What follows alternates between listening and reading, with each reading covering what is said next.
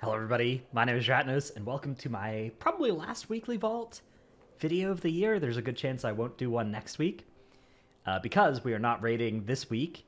We are also not raiding next week, so might be back with the weekly vault videos uh, on the 11th of January. We'll see. We'll see if I do some keys.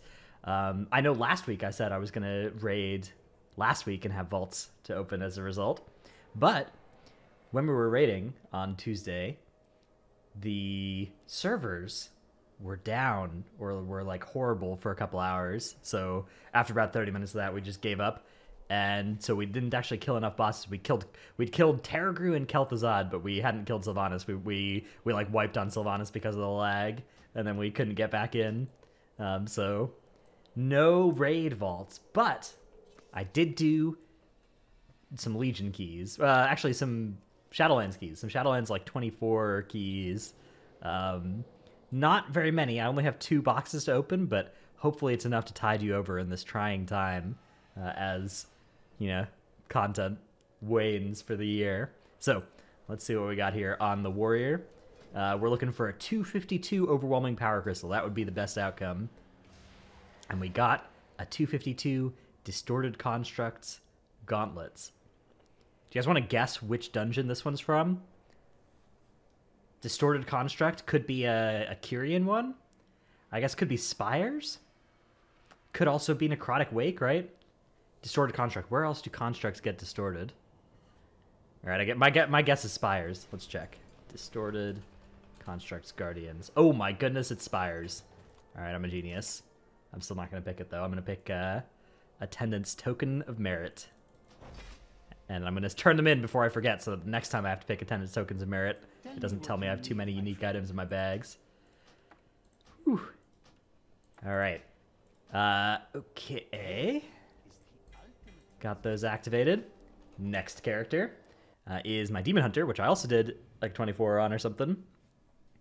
Just some, just some chill keys with uh, with some friends. Let's see what the box has in store for for old Illidrat. I actually don't know what.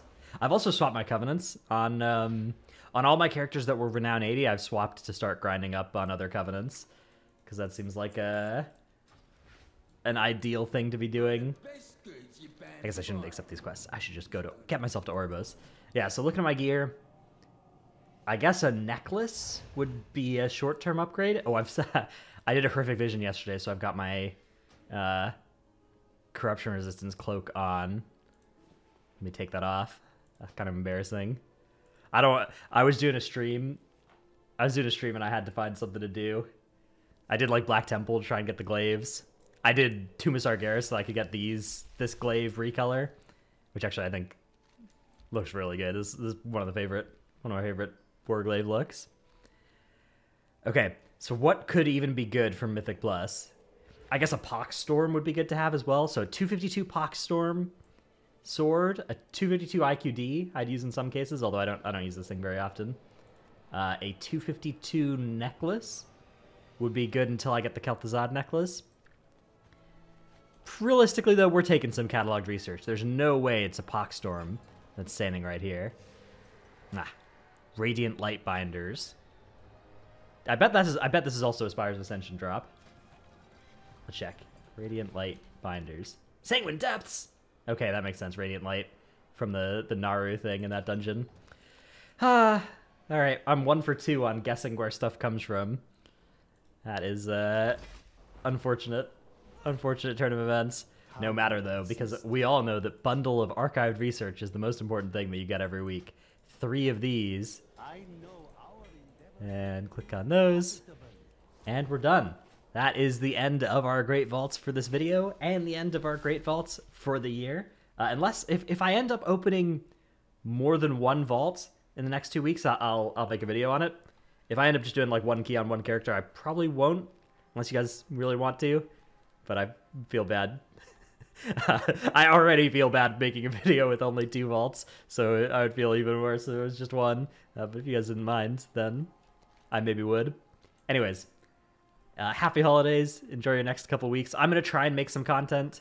Some not like um, I'm gonna try and make some like evergreen content, like some, you know, maybe maybe some more discussion of of things on PTR and stuff. But I also want to make just some kind of guide content that can last beyond just the current patch, which it's hard to do, but got some ideas for stuff to make. So uh, look out for that this coming week, hopefully. Uh, or I might flake and not make any content. Thanks for watching, and I'll see you in the next one. Bye.